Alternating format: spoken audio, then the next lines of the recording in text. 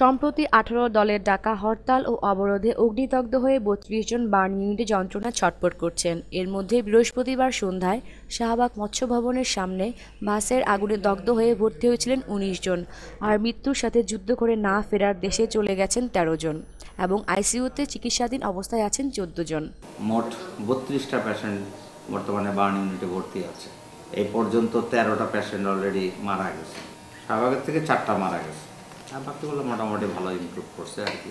শাহবাগে বাসে পেট্রোল বোমা হামলার ঘটনায় গুরুতর দগ্ধ বিহঙ্গ পরিবহনের চালক মাহবুব হাসান সঙ্গে আছেন মা বাবা স্ত্রী এবং হাসানের একমাত্র সন্তান শাহিন।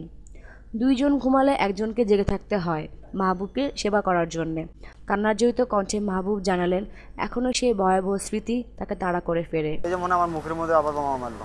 ওই ভয়টা এখন ভেতর থেকে কাটেনি মাহবুবের বৃদ্ধা মায়ের কণ্ঠে ঝরে আকুতির বাণী। একদিন গ্যাস খোরাকি নাই ঘরে। তো তার তো কাজে তার হরতাল হোক আর কিছু গাড়ি নিয়ে যাওয়াই নাকি? কেমন করি তার সংসার চলবে না চলবে এটা তো সরকাররা ঘরে কারও কেয়ার নেই।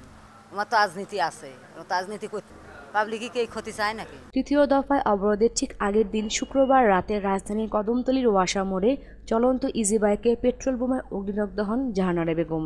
আমার কানে শব্দ হইল যে আগুন ধরে দাও, আগুন ধরে দাও। তারপরে আগুন ধরে দিচ্ছে কাপড়ের আঁচলের মধ্যে আগুন ধরে গেছে, ব্লাউজে আগুন মাথা চুলে আগুন।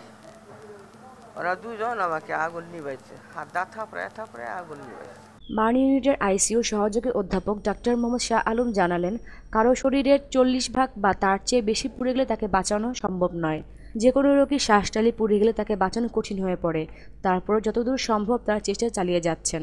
দুইজন এবং আগের চারজনের মধ্যে দুজনের অবস্থা এখনও আনস্টেবল আমরা তাদেরকে চিকিৎসা দিয়ে যাচ্ছি। বাকি দুজন রুগী স্টেবল আছে। আমরা আশা করছি যে আগামীকালের ভিতরে ওই দুজনকে অন্য ওয়ার্ডে পাঠাতে পারব। আহতদের স্বজনদের চোখের পানি আর আজারি পুরো বার্ন ইউনিট জুড়ে তাদের সান্ত্বনা দেওয়ার ভাষাটুকু সবাই যেন হারিয়ে ফেলেছেন। স্বজনদের একটাই কথা, কি দোষ ছিল ওদের? এদের আর্তনাদ শুনলে চোখের পানি এসে যায় সবার।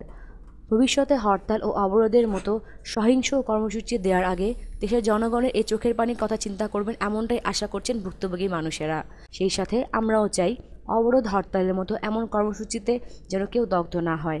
কাউকে পুড়তে না হয়, রাজনীতির প্রতিহিংসের আগুনে, আর যেন আগুনে না পড়ে কোনো জীবন অকালে ঝরে না যায়। Sonal Islam, BD Headlines, Dhaka.